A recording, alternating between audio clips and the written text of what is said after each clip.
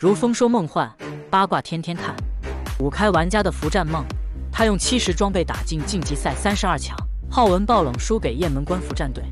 二零二三年的收官之战，二百零九连服战晋级赛落幕，进入到三十二强的战队，将在本周六和上个月的服战十六强战队一起参加正式的小组赛。上个月的服战当中，携带一千万战神出征的浩文二胜三负无缘十六强。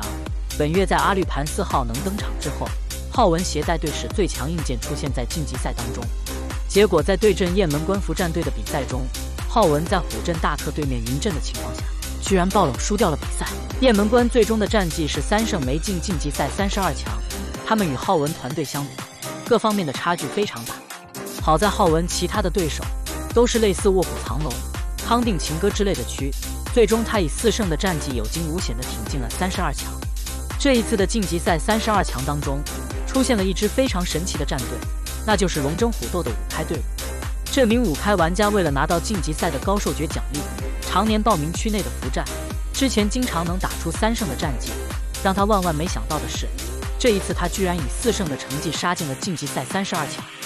他这组五开号的身上出现了大量的七十八十级装备。平时主要刷一些日常和天罡地煞任务。他的凌波城和狮驼岭号一共有四把武器，因为是一个人五开打的服战，他自己都搞不清服战时候带的是哪两把武器了。